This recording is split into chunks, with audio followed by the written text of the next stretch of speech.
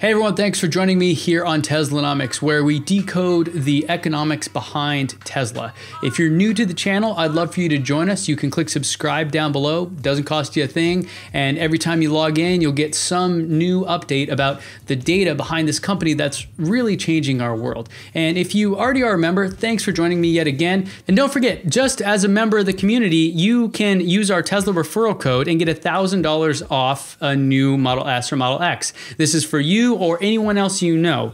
Uh, you just simply go to teslanomics.co slash TD. It'll redirect you. And by doing that, you're supporting the channel by hooking us up with some free swag if we get enough people and getting us invites to cool events, which I will then film and share back with you. So uh, you get a thousand bucks off. There's no hook or catch or anything like that. And you support the channel. So it's really a win-win. Um, so please share that and use it. Um, and you know, if you do, uh, I would love to talk to you. So send me a message and um, we'll chat. So thanks. And uh, yeah, let's dive into the data now. Today, what I want to talk about is my recent trip up to Santa Barbara and some data I got about that trip and unfortunately how inefficient I am. So I wanted to show that and dig into that. But first, let's dive into the long and short for this week.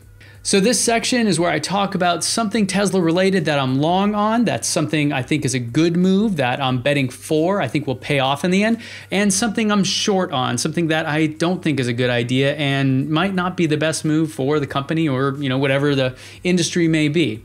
And so for the long this week, I want to talk about Tesla cutting jobs at SolarCity. Now, I know this sucks because it's a company laying people off, and I really hate the effect that that has on people's lives.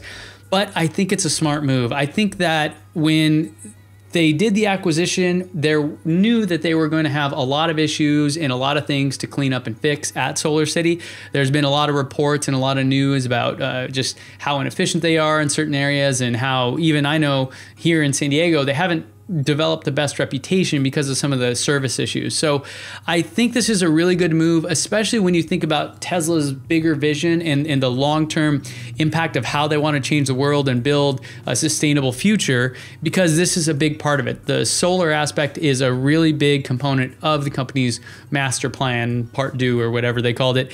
And the idea here is that they're going to cut down about 20%, which is a lot. So I really feel for those families. I'm sorry that they're going to have to go through this, but as an investor and somebody that is very interested in the success of Tesla long term, I think this is a good move. I think it's going to pay off for them, and I think it's going to really help both companies uh, thrive down the road. Now for my short. Tesla is looking to bundle insurance with their cars, and they're already doing this in parts of Asia. And this was something that Jeff Evanson, who's the Tesla VP of Global Investor Relations, revealed on the earnings call a couple weeks ago. Now, I realize that some insurance companies are kind of gouging people and overpricing these cars because they're expensive to fix, and you can only get the parts from Tesla and those kind of things. However, I don't like the idea of you bundling it because I fear that it'll become very Apple like, where nothing outside of their ecosystem works with it. I think that technology, and this includes the auto industry, really thrives when you have a diverse options to choose from. I think it's the better thing for the consumer if you can choose the right insurance company and they're not forcing you to go that direction that you know you're buying it from them. I do love the idea, but I just don't really see it panning out. I, this is my my short. I really don't think this is smart. They mentioned that they want to do this.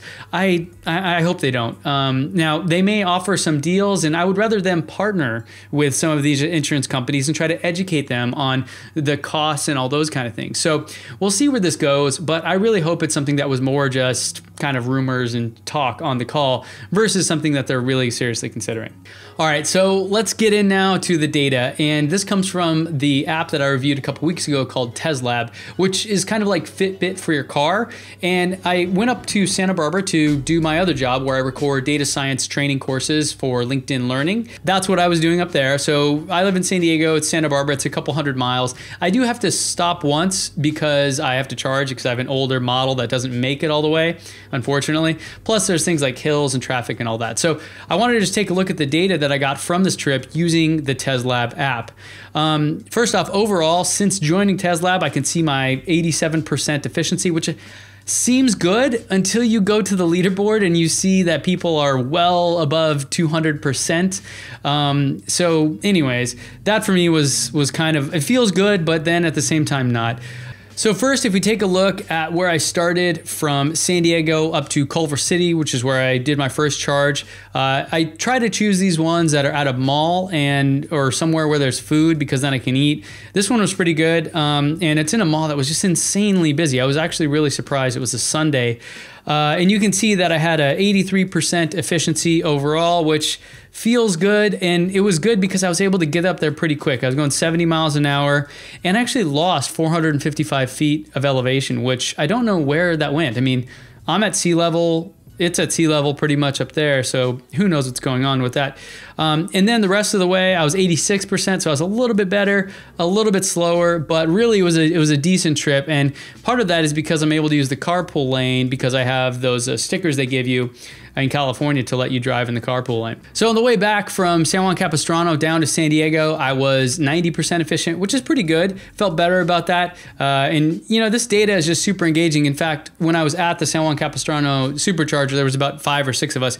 Great Mexican food there, but it gets busy. Um, they even have an attendant that stands there. So there you go. You can see how I did on my trip. And if you want an invite to that, you can go to our site, teslanomics.co slash teslab, and we actually will redirect you over, but because you're coming from us, they'll give you an invite kind of in a priority fashion. So you can go check that out. Uh, find me on there. You should just be able to search for my name, Ben Sullins, um, and you can follow me, and then we can kind of compete and all that. We can have fun, uh, you know, seeing who drives more efficiently or who goes the furthest or whatever. All right, thanks again for joining me. And if you, again, if you're new to the family, subscribe down below. We'll get one of these videos every single week. Uh, today was kind of a personal, fun little thing. Other times we talk about things like how the industry is changing and how Tesla's disrupting it or all the different facts and things around what this company is doing and how they're changing our world. So uh, thanks again, and I'll see you back here next time.